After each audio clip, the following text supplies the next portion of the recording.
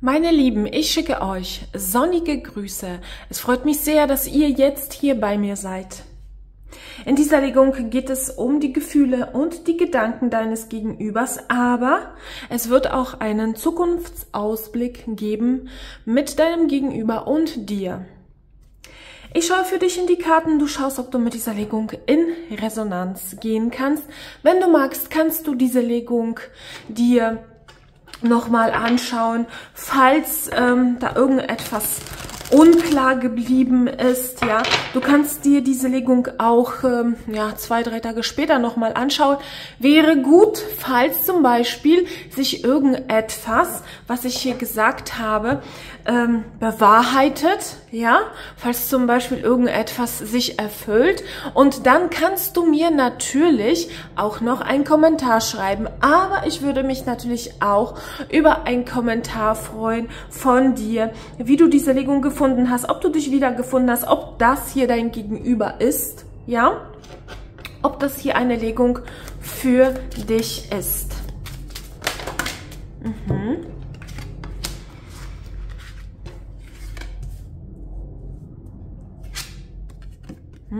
Die fünf der Schwerter, weil das sind jetzt die Gefühle von deinem Gegenüber. Der Eremit.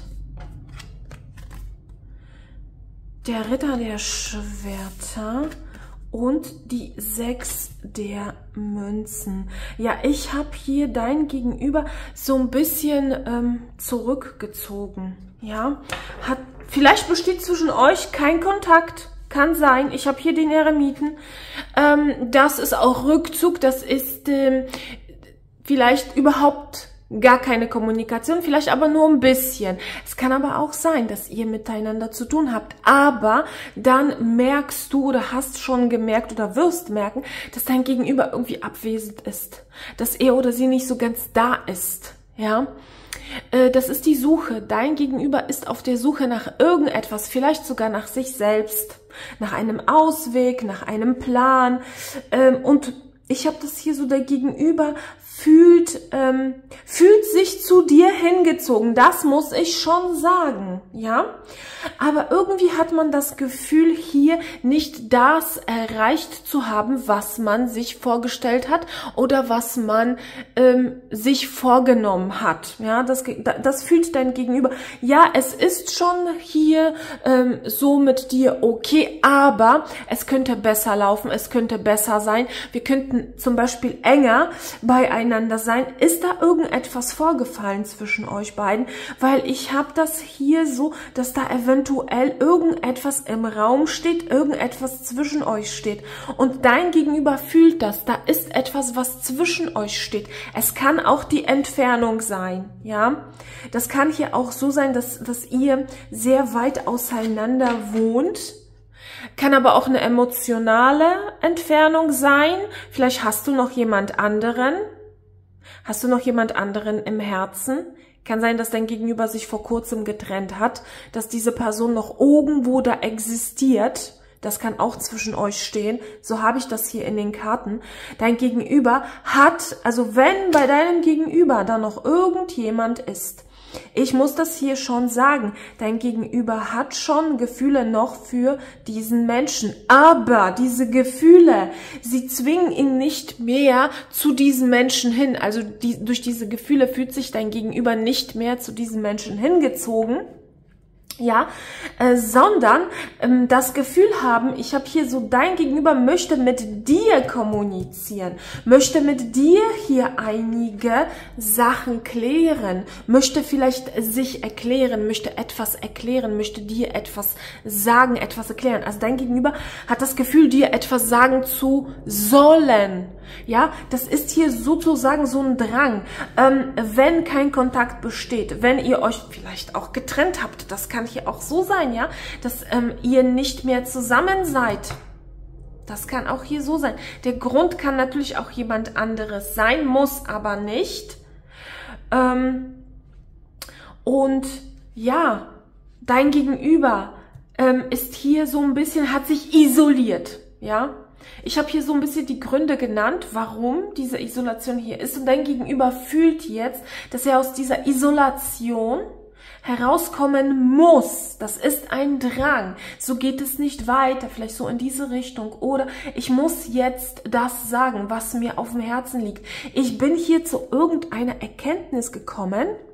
Und deswegen muss ich jetzt kommunizieren. Und dein Gegenüber hat das Gefühl, dass das jetzt einfach sein soll, sein muss. Diese Kommunikation mit dir.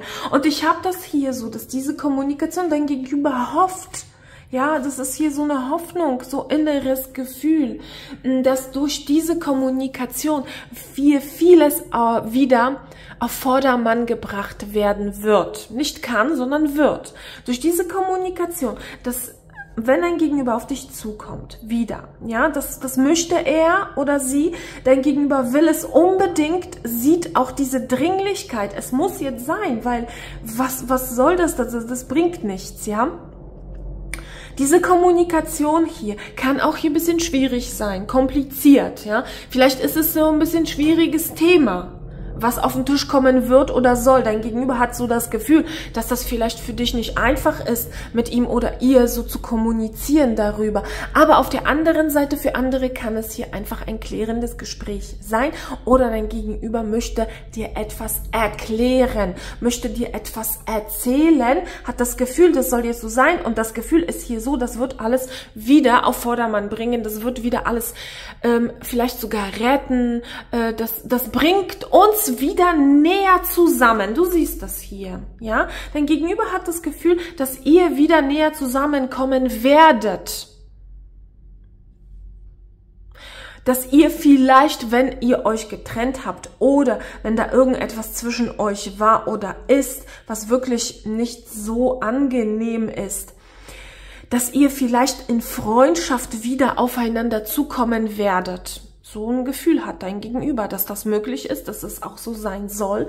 Er will das unbedingt hier. Hier ist der, der starke innere Wille, aber so gedanklich. Ja, ich habe das hier so ein bisschen, ähm, dein Gegenüber äh, handelt jetzt nicht nach Gefühlen, sondern dein Gegenüber hatte das Gefühl, nach seinem Kopf zu handeln. Also Gedanken, die umgesetzt werden. So, das Gefühl haben, dass das besser ist, als wenn man sich nur von Gefühlen leiten lässt. Denn vielleicht hat sich dein Gegenüber irgendwie in der Vergangenheit von seinen Gefühlen leiten lassen. Und das ist nicht gut geworden.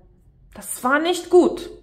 Und deswegen eher, was man sich so denkt, weil ich habe das hier so, dass dein Gegenüber sich erstmal hier von den Gefühlen so ein bisschen abgeschnitten hat.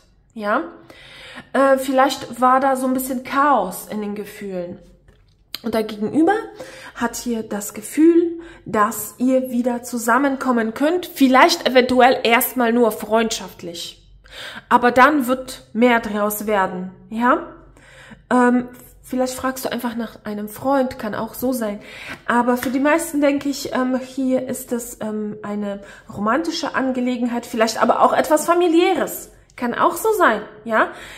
Dein Gegenüber hat das Gefühl, mit dir sprechen zu sollen und dann kommt ihr wieder zusammen. Dann ähm, seid ihr wieder gut miteinander. Auch wenn es erstmal so ein bisschen freundschaftlich ist. Ich werde hier noch eine Karte drauflegen. Mhm. Ja, und dann kann alles nochmal von Neuem beginnen. Ja, dann da, da ist ähm, dadurch ist dann mit dieser Freundschaft, mit dieser Versöhnung, kann auch eine Versöhnung sein, ja, Versöhnung hier, dann kann hier etwas wieder miteinander begonnen werden von Neuen an, ähm, auch jetzt äh, dich für sich gewinnen, so ein bisschen bezirzen, so ein bisschen ähm, wieder dich ähm, ja, so umgarnen, dich so ein bisschen umwerben, ja, damit, damit du wieder gut zu sprechen bist, vielleicht auf dein Gegenüber, ja, vielleicht so, oder dein Herz ähm, ihm wieder so ein bisschen vielleicht öffnest. Ähm, also dein Gegenüber hat das Gefühl, dass das hier alles möglich ist, ja, durch diese Kommunikation. Auch wenn es vielleicht schwierig ist. Das sind so die Gefühle. Jetzt kommen die Gedanken von deinem Gegenüber. So über dich, eure Verbindung. Und dann kommt die Zukunft, der Zukunftsausblick, ja. Die Gedanken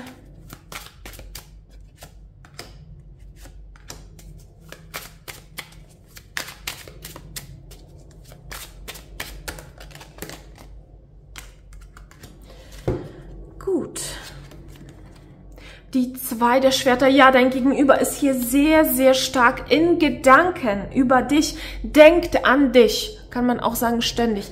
Und dieser Rückzug oder dieses sich ein bisschen zurückziehen oder sich ein bisschen zurückhalten oder im Zaum halten, ja, das ist deswegen ähm, so, damit man hier alles nochmal irgendwie überdenken kann. Ja vertieft in Gedanken über dich, also dein Gegenüber denkt, kann man schon so sehen, ständig an dich. Und man sieht hier die zwei Vöglein hier oben, also die Zweisamkeit. Also dein Gegenüber denkt über eure Zweisamkeit nach, denkt darüber nach, wie man dich erobern kann, wie man an dich herankommen kann. Dein Gegenüber möchte unbedingt an dich herankommen, an dich herantreten, dir näher kommen. Und zwar schnell, das soll schnell sein. Deswegen hier auch dieser Neubeginn, ja dieses Neue, sich voneinander, also einander neu kennenlernen, einander neu entdecken, ja. Also die sechs der Stäbe, dann der Mond, ja, man hat ein bisschen aber Angst, Bedenken, das ist so ein bisschen Unsicherheit, aber die Herrscherin, ja, und die acht der Münzen, sehr schön. Also dein Gegenüber denkt hier, dass du hier die Herrscherin bist. Du bist vorherrschend in seinen Gedanken. Dein Gegenüber denkt fast nur noch an dich und wie man dich wieder, vielleicht wieder dich für sich gewinnen oder überhaupt dich für sich gewinnen, dass du wieder da bist. Man hat aber auch hier Ängste, Sorgen, Probleme damit. Also man ist sich unsicher, sagen wir mal so. Man schmachtet und ist sich unsicher, ob du überhaupt noch bereit bist, ob du ihn oder sie willst, ob das überhaupt noch möglich ist, ob hier nicht schon alles verloren ist, ja.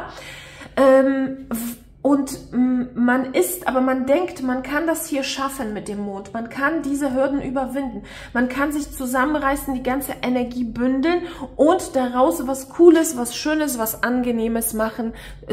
Ist aber harte Arbeit notwendig. Das denkt dein Gegenüber. Jetzt ist meine Aktivität angesagt. Ich soll jetzt was tun. Ich muss jetzt was tun. Ich werde jetzt was tun. Das denkt dein Gegenüber.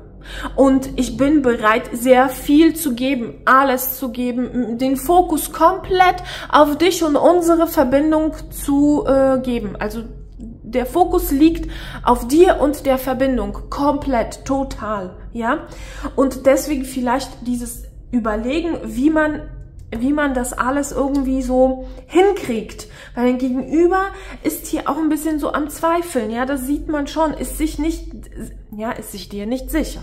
Also dein Gegenüber denkt nicht, ja, kein Problem, ähm, du bist meins. Nee, nee, nee, das ist hier so, ähm, oh mein Gott, ähm, wirst du noch überhaupt mich haben wollen? Wirst du überhaupt noch empfänglich für mich sein? Möchtest du diesen Neubeginn? Ich bin mir total unsicher, welche Schritte ich denn jetzt überhaupt noch ähm, machen soll, damit das alles hier klappt.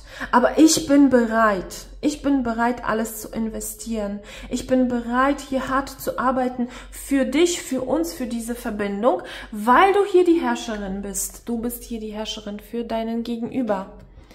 Das ist hier jemand, der ähm, natürlich stark ist. Also dein Gegenüber sieht dich als eine sehr starke Persönlichkeit, eine sehr starke Person, jemand, der weiß, was er will. Also dein Gegenüber denkt hier, du weißt, was du willst. Und willst du mich überhaupt noch?